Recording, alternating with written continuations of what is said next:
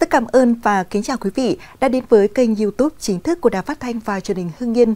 Chúng tôi luôn cập nhật những thông tin mới nhất, nóng nhất trong suốt 24 giờ qua để gửi đến quý vị. Ngay sau đây là phần nội dung chi tiết. Mới đây, chị Quy, 21 tuổi, thành phố Buôn Ma Thuột, tỉnh Đắk Lắk xác nhận liên quan đến vụ tố cáo tài xế xe khách sàm sở, quấy rối ngay trên phương tiện. Trong vài ngày tới, chị sẽ về lại Đắk Lắk để làm rõ vấn đề này với đại diện nhà xe NT.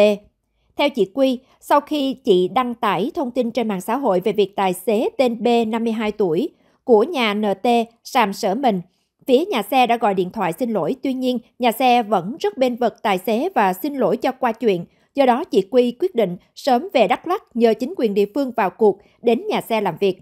Chị Quy chia sẻ, việc nhà xe giải thích tài xế đã lớn tuổi để cho rằng không có việc sàm sở là không thể chấp nhận được. Tôi rất buồn khi nhiều người nghĩ bản thân tôi dừng chuyện, nhưng là con gái không ai dạy làm như vậy. Đại diện nhà xe NT xác nhận đã gọi điện xin lỗi cô gái, tuy nhiên, đơn vị cho rằng không có chuyện sàm sỡ, mà có thể do tài xế mệt quá nên trong cơn ngủ mơ đã cua tay trúng hành khách.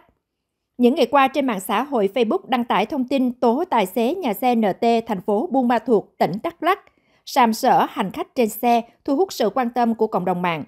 Theo nội dung đăng tải, tài xế tên B của xe khách NT đã chui vào giữa hai cô gái nằm và sàm sỡ. Khi cô gái phản ứng quay lại clip thì tài xế chối cãi. Ngoài ra, thông tin đăng tải có đoạn clip cô gái quay lại sau khi xảy ra vụ việc, cho rằng mình bị sàm sỡ ở mông rồi bị lần lên ôm. Theo tài xế xe khách tên B, ông đã 52 tuổi, già lắm rồi, đã có cháu và không bao giờ làm chuyện đó. Theo ông B, tối 16 tháng 2, ông cùng một tài xế chở khách từ thành phố Buôn Ma Thuột đi thành phố Hồ Chí Minh. Đến khoảng 10 giờ 30 phút cùng ngày, khi xe chạy tới địa phận tỉnh Đắk Nông thì ông vào đường luồng nằm ngủ. Mấy ngày qua, do là dịp Tết xe chạy quay đầu liên tục nên ông B rất mệt. Lúc đó ông B nằm ngủ mơ rồi quơ tay đồn phải chứ không có ý gì.